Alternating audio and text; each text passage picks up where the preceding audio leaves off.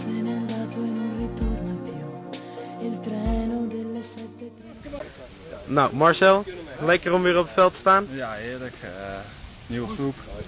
Dus eh, lekker fris, fris begin. Zijn er nou heel veel jongens van deze die je nog niet kent? Eh, de helft ongeveer. Maar die leren we wel kennen. Ja. Dat komt wel goed. En eh, wat denk je van het seizoen? Eh, nou, proberen in het linker rijtje te eindigen. Maar eerst even voorbere- voorbereiding afwachten. Oké, En dan eh, kan je een beetje inschatten hoe sterk je bent. ja, dankjewel. Het veld en de omstandigheden ziet, eh, daar is de voorbereiding een geweldige periode. Iedereen heeft er zin in. Velden zijn goed, spelers zijn eh, gemotiveerd, staf is gemotiveerd.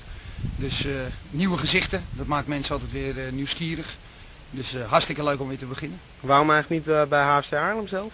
Dat heeft te maken met de rusttijd die de trainingsvelden nodig hebben. En eh, nou, we hebben hier op het terrein van eh, het voormalige EHS een eh, behoorlijk goed grasveld liggen. Zodat we ja, eigenlijk twee keer op een spiksplinternieuw trainingsveld kunnen beginnen. Dus ik ben de laatste jaren niet anders gewend dan dat we de eerste weken hier trainen.